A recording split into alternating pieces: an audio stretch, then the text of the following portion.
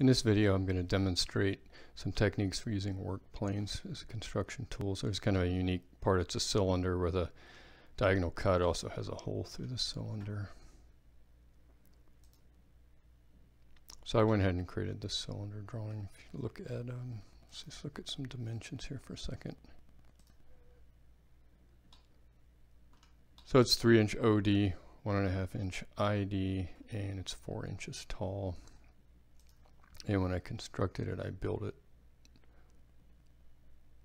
around the mid planes, so that'll be very helpful too to know where that is. Okay, so let's start with cutting that diagonal piece. So we're going to need a plane, and it can be either one of these planes. That top plane, we can use that top plane like that, so you can see it goes to the center of the part. What we're going to do is create a new plane that's on the surface. So go up to Reference Geometry, Plane click on the existing plane and we just need it to be on one of the surfaces. We don't really care which one, so that's fine. The distance is going to be the radius of the outer circle there, so that's one and a half. So that's we're going to work with. I'm going to go ahead and turn off the top plane, right click and turn that off. And then I'm going to make a sketch. It's on the side of the part like that. So let's just draw.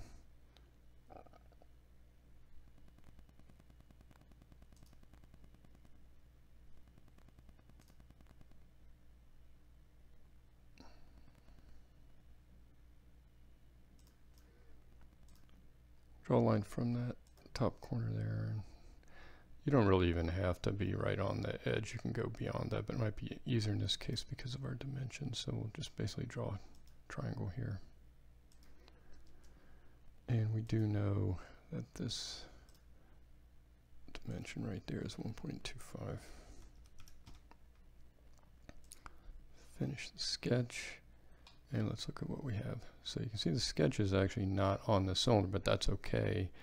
Uh, as long as that plane is touching the cylinder, we know exactly where we are there. So features, extrude cut, and we'll just cut all the way through to remove the material. So that part's pretty straightforward. I'm going to turn that plane off.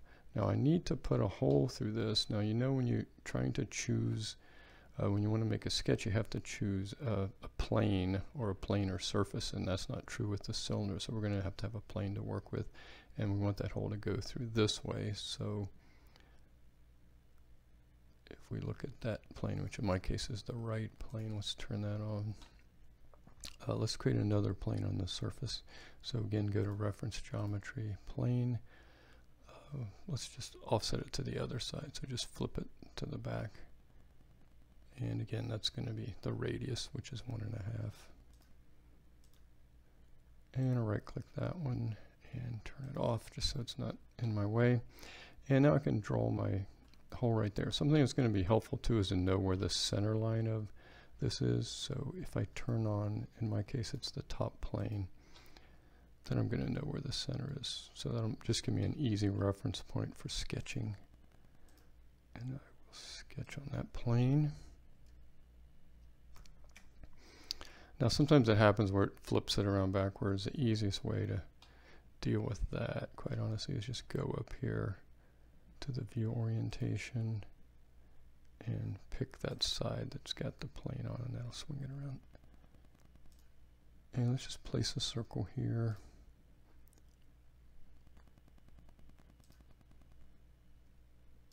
Put it on that center point and the diameter of that is 0.375.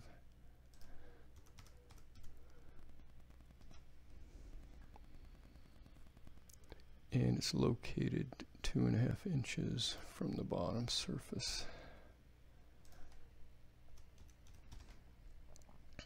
Finish the sketch.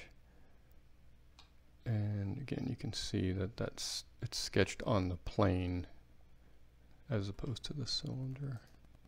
Let's extrude cut that and we'll go all the way through. Oops, wrong button. All the way through the part. Turn those planes off just so we can see everything. And there's our part. So a couple of different work plane techniques there.